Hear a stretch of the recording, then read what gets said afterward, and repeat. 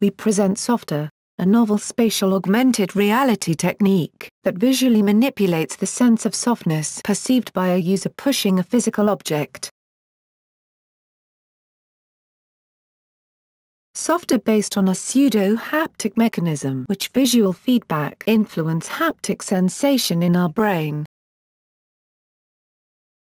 We propose two type of projection visual effects, surface deformation effect and body appearance effect.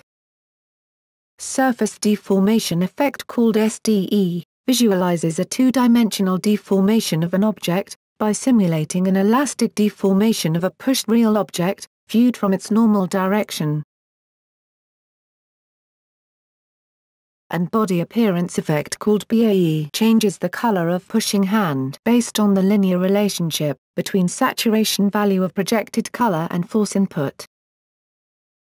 Through psychophysical experiment, we confirm that SDE can manipulate a softness perception and BAE that applied only for finger area, called FBAE, boots the perception manipulation.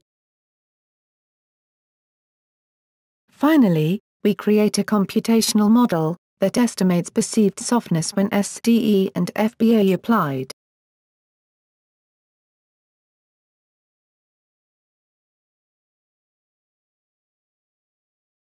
We build a prototype system, on which two application frameworks are implemented.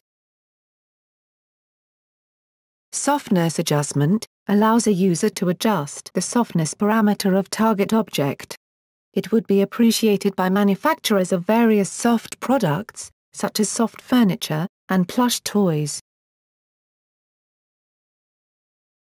Softness transfer Replace the softness of target object with that of another object.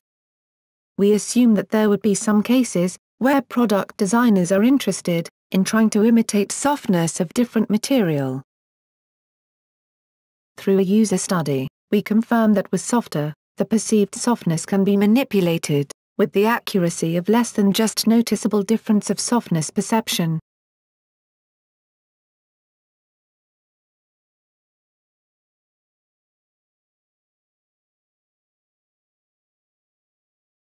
Because SoftAR does not require any user-worn equipment, it is allows user to feel significantly different softness perception, without changing the soft material, and allows multiple users, that would be useful for various application fields.